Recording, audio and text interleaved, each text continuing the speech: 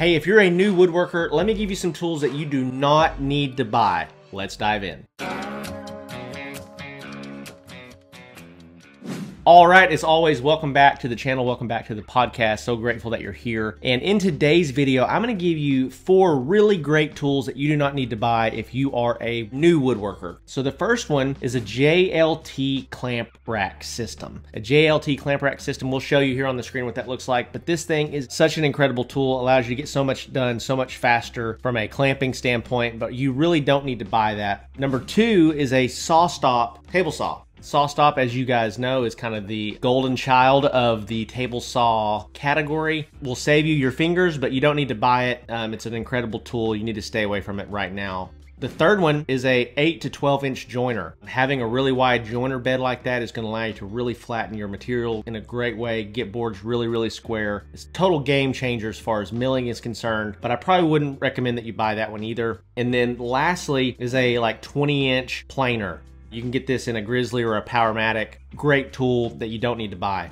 And so I know as of right now, you're like, why are you giving me all these great tools that I don't need to buy? And that is because if you're a new woodworker, there are better places to spend your money. Now, are these tools incredible tools? Yes. Are they game changers for production? Yes. Are they going to make you a little bit more money because they allow you to, to get stuff done faster and more efficiently? Yes.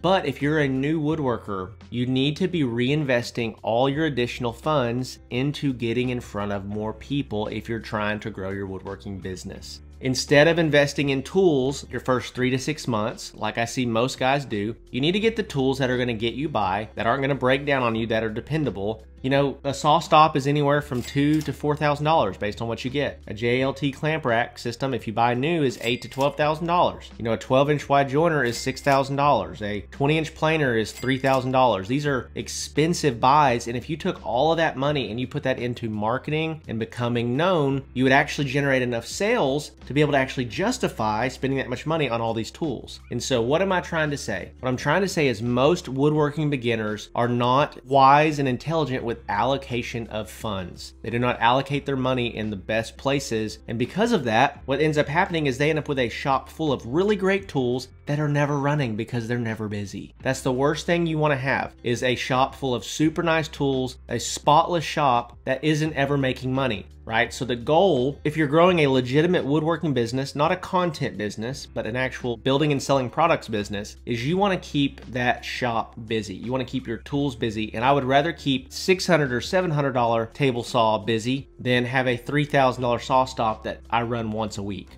That is not the goal. So, I'm going to keep this video short, but what I wanted to talk to you about in this video was to change your mindset and change your frame of reference around where you need to be allocating your money if you're trying to grow a woodworking business. Now, do I love all the things that I mentioned? The JLT clamp system, the SawStop, the 12 inch joiner, the 20 inch planer. These are incredible tools and I love good tools. But these purchases should be coming later on in your journey after you are already hitting your production capacity. Okay, so let me dive into that for just a second. So let's say that you're a one or two man crew in a, in a shop, right? Your production capacity is around $20,000 per month in, let's say, dining table sets. Well, until you're actively selling $20,000 a month, you do not need to be buying tools like this, right? You should be reallocating funds into marketing and awareness and getting in front of more and more people until you are generating the $20,000 a month. Then you want to expand your production capacity with these types of tools. And so, if you need help expanding your sales and growing and getting to the point where you're spending money on marketing and it works, be sure to check out the Woodworking Business Accelerator program. That is